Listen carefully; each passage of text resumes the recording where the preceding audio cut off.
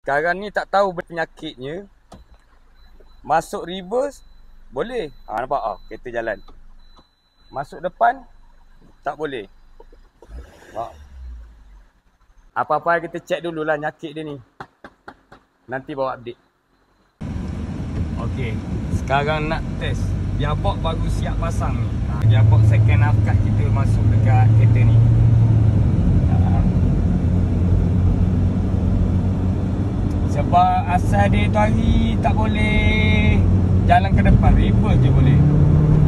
Owner nak cepat pakai kereta. Itu yang kena Tukar gearbox dah cepat sikit. Kalau kata Overhaul tu Lambat sikit Boleh juga. Bukan kata tak boleh. Ha, Macam tu.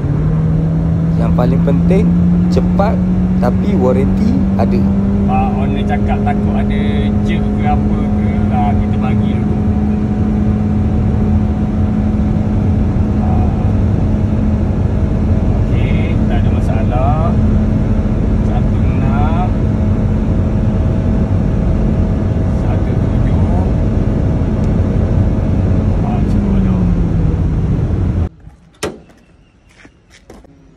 Hmm. Sebab dia tak ada banyak puli tau Yang puli alternator uh-huh. Puli kompresor aircon Lepas tu main puli lah uh-huh. Ini water pump ni Ah, water pump kan? hmm.